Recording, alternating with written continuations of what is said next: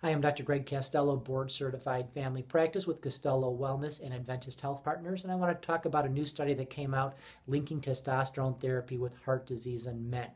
So this was a VA study, and I'm going to actually talk about three different VA studies. Uh, VA Veterans Administration, it's a great place to do medical studies because the men in these studies are generally much sicker than the general population. And if you're going to look at mortality or death rates over a time period, more guys are going to die that are from the VA than are healthy guys. So as an example, if you took 100 or 1,000 healthy men and you did a any study and you wanted to see whether they died over a five-year time period, the problem may be that two guys die in one group and only one guy dies in the other group, and it's either a 50% increase death rate or the difference of one guy dying when you have a thousand sick guys and 200 of them die in one study and 300 die in the other group study, then that's not a one guy difference, that's a 100 guy difference, and that actually is a 50% uh, increased risk of death. So, VA studies, high mortality rate for all causes cancers, heart disease, strokes, diabetes, uh, kidney failure, all cause mortality. So, the first study I want to talk about is a VA study where they looked at men's testosterone levels and whether they were going to survive for five years.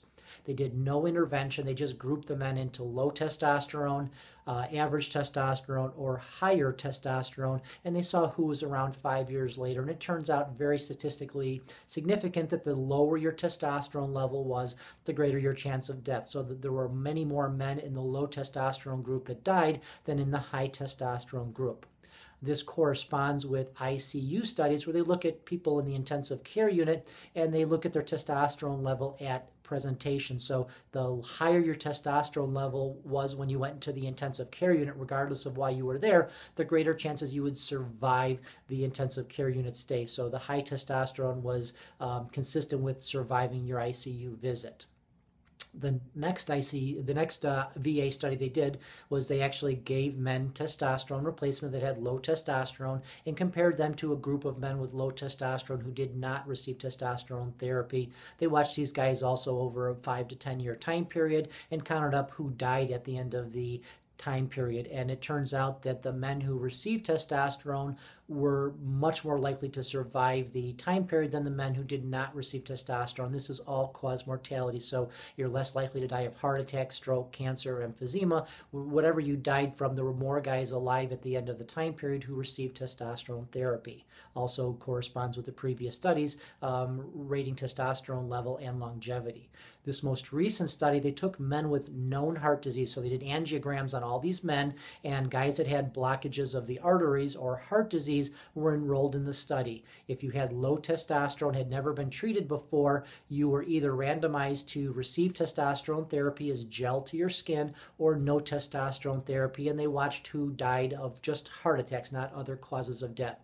And the results of this study showed that the men with known heart disease or pre existing heart disease who received testosterone therapy died more frequently of heart attacks than the men who did not receive testosterone and that might seem obvious, but there was some very significant flaws to the studies. Um, everybody got the same exact dose. They got it as a topical gel, so we don't know what men's testosterone levels were on therapy. They did not monitor testosterone levels. Um, no one had their estrogen or estradiol levels monitored, so we know that estrogen levels can go up when we give you testosterone, and there could be some complications of this.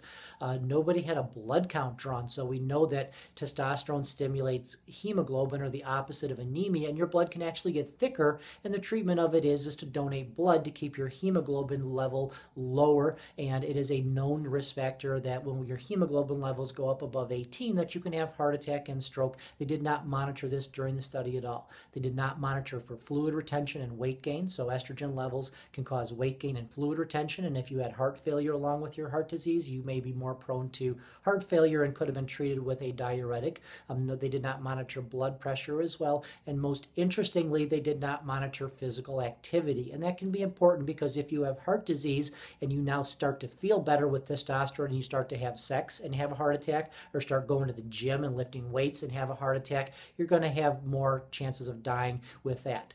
Uh, we know this for a fact when Viagra came out, we thought that Viagra was causing heart attacks because men took Viagra, had sex, had a heart attack, and showed up in the emergency room after taking Viagra.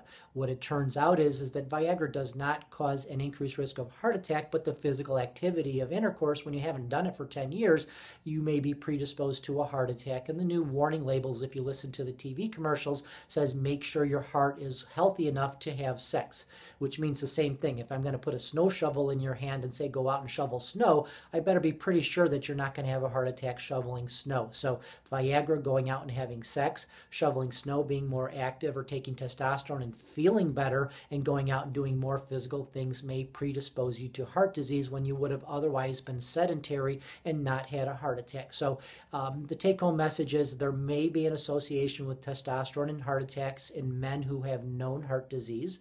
Um, you do need to see your cardiologist. If I see a patient who has known heart disease or diabetes, I'm a little bit more careful just intuitively that we need to be careful. We need to do stress tests. Uh, we need to know that they're going to be healthy for sexual activity or being able to go to the gym before I recommend going to the gym. So we always monitor blood counts as part of testosterone replacement. We always measure testosterone levels as part of therapy, and we always measure estradiol levels as part of therapy as well. So these are all things that if you do take testosterone therapy, you need to make sure your doctor is doing a very close follow up every three months. If you have heart disease or suspicious for heart disease, you need to see the cardiologist and get a baseline stress test, and probably about every two years on therapy.